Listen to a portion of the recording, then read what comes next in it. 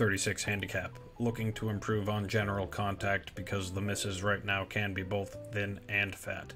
You've included both angles here and we'll get back to this face on because most of your lesson will pertain to that angle, but we'll knock out a couple things here from this side first. As you get set up, the hands drop a little bit and the upper body slouches into a more comfortable rounded position. I would try to stay a little taller, your knee flex looks okay, just get that chest to stay a little bit more upright so that you don't slouch down the lower you are, the more likelihood you have of trending to the fat side. And if you're hitting your irons from the fairway, I would prefer you to miss more slightly thin than slightly fat. Around the greens, that can change, but fuller shots usually thin to win. Alright, setting up. After we drop the hands, I'll get your path line up and we'll knock out, like I said, a couple things that you're doing well. First, the takeaway is outside of your path line, keeping the face closed, which is a pretty decent position. You've noted limited mobility in the body, so I don't expect to see a huge turn, but you do work the club a little bit behind you. But here we can see the exposure of a very 10 finger strong grip, which hinges the club rather quickly and sets a very closed face angle. And usually, to make a closed face by a swing work, you need lots of rotation of the lower body in the downswing. Now, even as you've noted limited mobility, you're not getting a lot of shoulder turn back, but you are getting a lot of hip turn back. And with that much hip rotation coming back, you need to make up for that coming through and then some. Now, I note decent mobility in the lower body, but you need a lot more turn than that if you're going to make such a closed face position work throughout the swing and stop yourself from hitting hooks or releasing it early and chunking it. So I would first work on the grip, which we'll see in another second, but try to increase your shoulder turn against your hip turn to the top.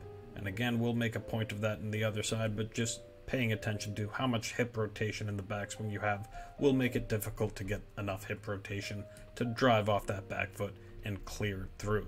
So now let's jump over to the other side where we can see your grip now really separated in the hands and that will, as we're going to see in this takeaway, quickly hinge that club straight up and you've already set your angle about halfway back at your P3 position. Best you can do is hold on to that angle and try to turn your body, like we said, coming through so, so that you can strike it without flipping it, but hard to see what's going on here. I imagine there's a lot of release going on with the hands, just trying to save face on your way through. But a couple tips you can take away from this side view first would be to widen your stance and flare your feet. Because with this very narrow stance and square position, it makes it tough to get your body to clear through in the downswing. Let's watch this left foot as you transition down. Going to turn back, left knee flexes in, and as I noted, decent mobility of the upper or lower body, hip turn. As you drive through, that back foot, lead foot, is trying to square up and then will eventually squeeze and flare open as your hips are turning through to the finish. You will find it much easier to get those hips open sooner and more easily if you begin with your foot flared out like this. So keep your back foot nice and square, but widen that up and flare out that left toe to help some more mobility coming through. Lastly, I know I'm throwing a lot at you, but work on these in pieces. If you're hitting behind the ball more than you're hitting it thin, it's likely due to this upper body sway off the ball. And when you're doing that move, that's why you don't get a lot of upper body rotation and you get the lower body rotation. So try instead of turning the hips back as much as you can, tilt down in that left shoulder.